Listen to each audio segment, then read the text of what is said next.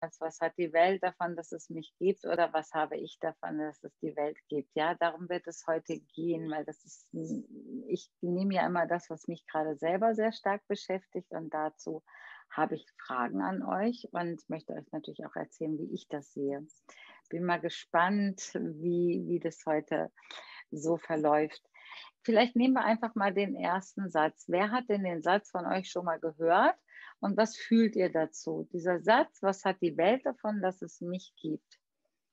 Einfach mal, oder vielleicht habt ihr eine Gegenfrage dazu. Lasst uns einfach mal im, im Chat noch ein bisschen im Austausch sein und äh, im Anschluss werde ich dann auch nochmal matrixen und vielleicht jemanden freischalten, der sagt, dass er gerade jetzt da gespürt, dass er ein Thema hat. Ich würde sagen, ich spanne euch mal nicht mehr auf die Folter, sondern ich möchte euch sagen, was ich, wie, was mich überhaupt dazu gebracht hat, euch mit dieser Frage zu konfrontieren. Und zwar habe ich letzte Woche eine Freundin getroffen, die ich schon viele, viele, viele, viele Jahre kenne. Und sie ist ein, ein Mensch, der immer, also solange ich sie kenne, hat sie nach dem Motto gelebt, was hat die Welt davon, dass es mich gibt? Und sie hat sich immer verschenkt. Sie hat, also ich, ich kenne sie eigentlich nur gebend und verschenkend. Sie hat sich an ihre Kinder verschenkt, sie hat sich an ihren Partner verschenkt, sie hat sich an ihre Klienten verschenkt, an ihre Eltern. Ähm, und sie, sie hat immer gegeben, gegeben, gegeben. Es ist nicht so, dass sie sich leer gemacht hat, aber das, was mir immer aufgefallen ist, ich hatte immer eine eine Person, einen Menschen vor mir, der auf der Suche war. Es war nie genug. Sie hatte immer das Gefühl, sie muss sich noch mehr finden, sie muss noch mehr entdecken. Ähm, es reicht noch nicht, sie muss sich noch entwickeln, sie muss noch durch Prozesse gehen. Es war so ein Lieblingssatz von ihr. Oh, Martina, ich bin wieder richtig tief in Prozessen. Und ich habe sie jetzt getroffen und sie war anders völlig verändert. Ein Mensch, der, und ich habe gemerkt, dass ich mich gerade ähnlich fühle, völlig in sich ruhend, richtig angekommen, total verwurzelt und geerdet. Und ich hatte das erste Mal das Gefühl, dass sie nicht mehr sucht, sondern dass sie weiß, wer sie ist Sie weiß, dass sie angekommen ist und aus dieser Mitte heraus hat sie gegeben. Aber ohne zu geben, sondern es ist einfach geflossen. Aber ohne, dass sie etwas von sich weggegeben hat. Und das war auch das allererste Mal und ich kenne sie seit 15 Jahren. Das war das erste Mal, dass sie nicht erzählt hat, sie wäre im Prozess und sie war nicht suchend und sie hatte nicht das Gefühl, sie muss mehr geben, sondern das, was sie gemacht hat, ist, sie hat mir erzählt, was sie im Moment alles nimmt. Sie hat komplett den Prozess umgekehrt und hat gesagt, sie bekommt gerade von der Welt. Sie holt sich ihre, sie stillt ihre Bedürfnisse über ihren Partner. Sie holt sich alles, was sie braucht über ihre Kinder. Sie holt es sich auch, was sie braucht von ihren Eltern und von ihren Patienten und Klienten in ihrer Praxis. Das heißt, sie hat sich aufgefüllt permanent und hat sich geholt, was, die, was ihr die Welt gibt und ist ein absoluter Genussmensch. Und das, und jetzt kommt das Faszinierendste, seit sie nimmt, ohne Ego, also wichtig ist, glaube ich, bei dieser Geschichte, ich habe einfach gespürt, es ist nicht ihr Ego, das sagt, ich brauche das und ich will das und, und ich muss das jetzt haben, sondern aus ihr heraus kam einfach, ich stille jetzt meine Bedürfnisse. Und das, was passiert, wenn ihr eure Bedürfnisse stillt, wenn ihr euch von der Welt das holt, was die Welt euch zu geben hat, dann habt ihr so eine starke Ausstrahlung von etwas, wonach sich jeder Mensch sehnt. Sie hat gesagt, ihre Praxis ist noch nie so gut gelaufen wie bisher. Ihre Beziehung wunderbar, die Beziehung zu ihren Kindern völlig verändert und alles, weil sie in ihrer Mitte ist. Und das ist ja etwas, was ich in den letzten Wochen auch an mir selber entdeckt habe, dass, dass mich das verändert hat. Ich habe das nur nicht so ausgedrückt, aber jetzt gefällt mir unglaublich dieser Satz. Was habe ich davon, dass es die Welt gibt? Und ich möchte das wirklich an euch weitergeben, dass ihr, vielleicht machen wir das auch jetzt nochmal gemeinsam als Gruppe, dass ihr wirklich einladet, wirklich einladet und erlaubt, dass alles in euer Leben kommen darf,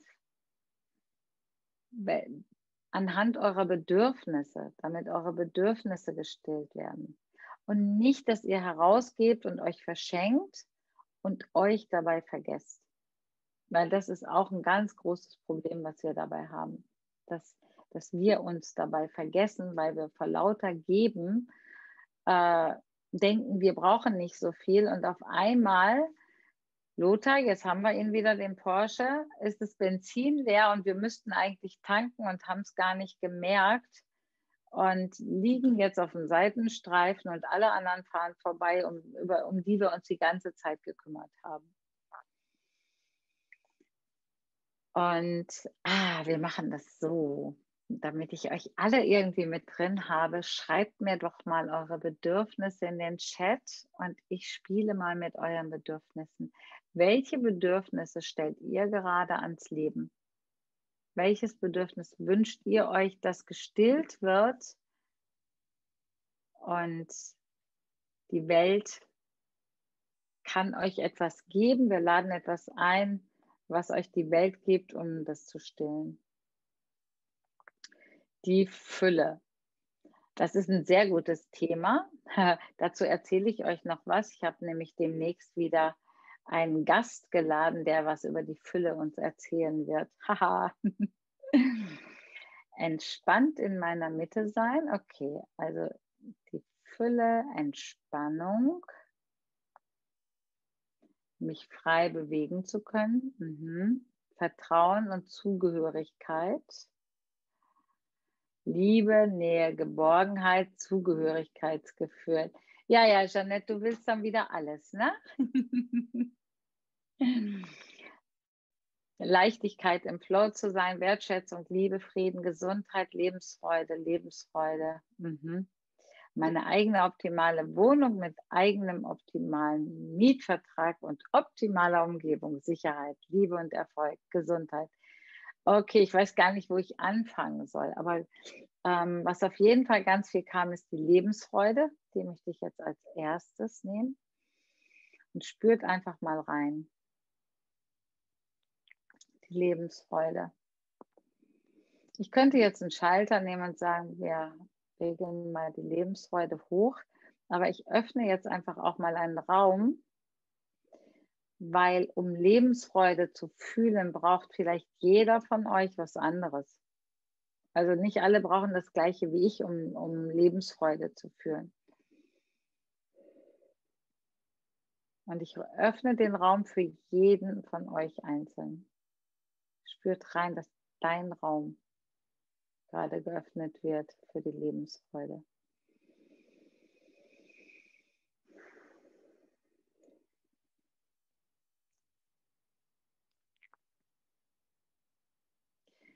Und ich, ich nehme jetzt einfach mal komplett das Modul Fenster und Türen, weil ich sehe jetzt wie so ein Dachlukenfenster und ich öffne die Luke und da kommt die Fülle rein.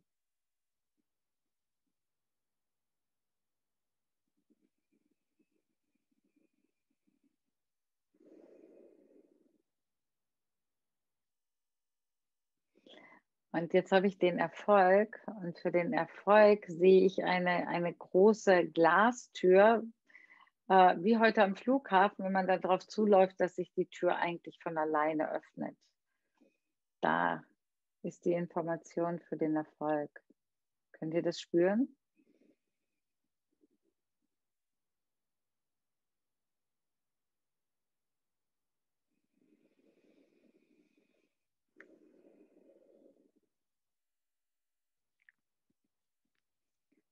Und die Sicherheit. Mal gucken, was ich bei der Sicherheit bekomme. Bei der Sicherheit geht es darum, eine Tür zu schließen. Das heißt, wenn, wenn wir geöffnete Türen haben, über die permanent Informationen in unser Feld fließen, dann kann es sein, dass wir uns nicht sicher, und ich nehme auch die Geborgenheit gleich mit rein, Janette, das hattest du, glaube ich, vorhin geschrieben, also die Geborgenheit und die Sicherheit. Und ich schließe einen Raum. Hm. Es ist eine Tür. Und ich schließe diese Tür.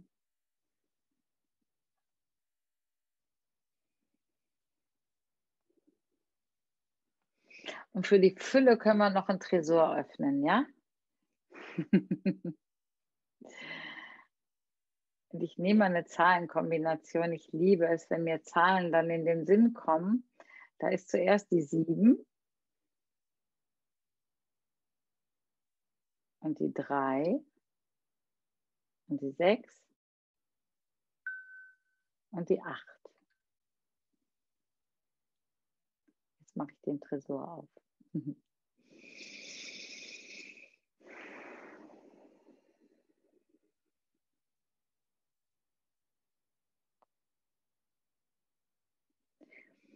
Freiheit ist, glaube ich, auch noch was, was ich gerne nehmen möchte. Was kommt für die Freiheit? Da kommt eine Ressource. Mal gucken, was für Ressourcen. Vielleicht kommen unterschiedliche Ressourcen. Als erstes habe ich als Ressource den Adler.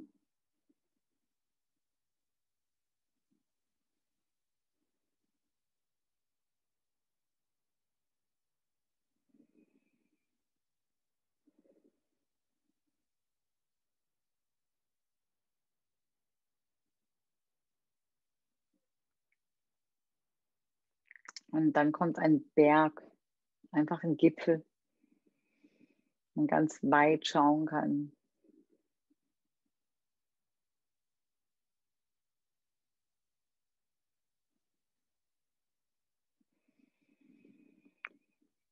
Und jetzt nehmen wir noch den Frieden.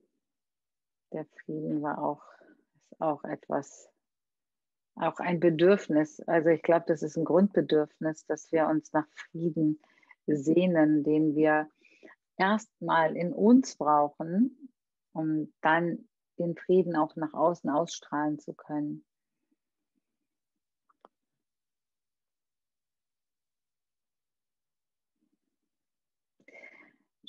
tatsächlich sehe ich nochmal eine Ressource, das sind, und ich sehe eine Menschenmenge. Also ich sehe einfach ganz, ganz, ganz viele Menschen. Und, und die sind ganz eng zusammen und die tragen keine Maske. Das geben wir mal in unser Feld. Das sieht richtig nach einer riesengroßen Freude, nach einem Freudenfest aus.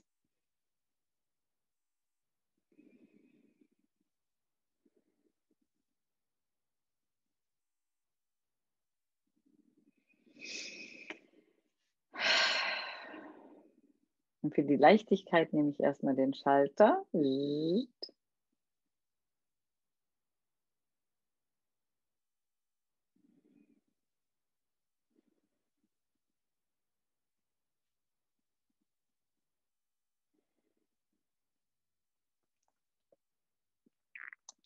Und für die Leichtigkeit öffne ich, es ist so eine Art, ich würde es, ich komme nicht auf den Namen, so ein rundes Zelt.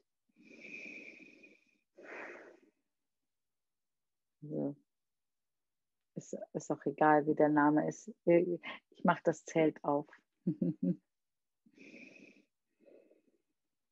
äh, ist kein ist kein Indianerzelt. Das heißt, die Zelte haben noch einen anderen Namen. Aber ich mache mir das Zelt auf. Es ist eine Jurte, genau, Brigitte. Du weißt, was ich meine. Aber jetzt kam auch noch ein Zirkuszelt. Aus der Jurte ist ein Zirkuszelt geworden. Jetzt machen wir einen riesen Zirkus. Also da kommt viel Leichtigkeit.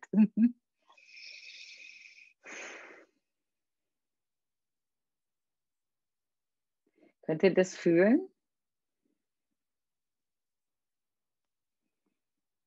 Mhm.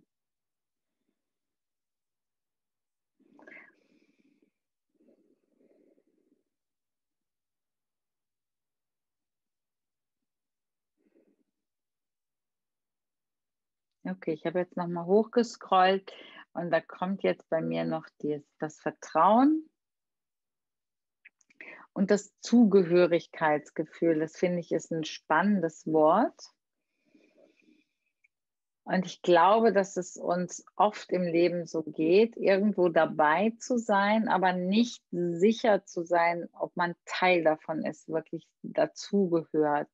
Und da kann ich auf jeden Fall einen Raum öffnen. Das ist ein Raum, das sieht aus, das ist eine Tür und wenn ich die öffne, ist dahinter wie so eine Art Ballsaal. so, so eine doppelflügelige Tür. Schön.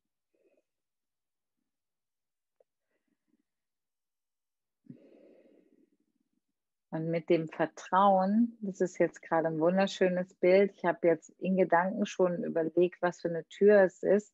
Und hinter der Tür sind nur Kinder. Ich mache mal die Tür auf und die Kinder laufen in den Raum. Voller Vertrauen. Ist wahrscheinlich dem geschuldet, dass ich mit meinem meinen Enkelkindern so viel Zeit verbracht habe. Und da sieht man, wie viel Vertrauen die, die Kinder ins Leben haben. Können wir uns echt eine Scheibe abschneiden.